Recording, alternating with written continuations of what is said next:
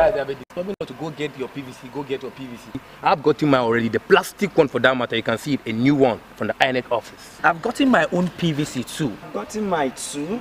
But I'm confused about the whole thing. Confused about what again? Now that you have your PVC, you are qualified to vote for whoever you want to vote for. No, no, no, you see, guys, to be honest, but let me just tell you the plain truth.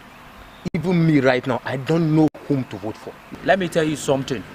Come 2023, I am going to my polling unit with my own card. Any candidate will give me kudi, ego, angbanga, Allah, I will vote give am. Don't bring give the person. Don't bring give am. Oh. Young men, I have overheard your conversation. Do you know what thumbprint means? Have you asked yourself question why they need your thumbprint? Why registering for your ATM card, a SIM card, a voter's card, and virtually almost everything? Have you asked yourself question?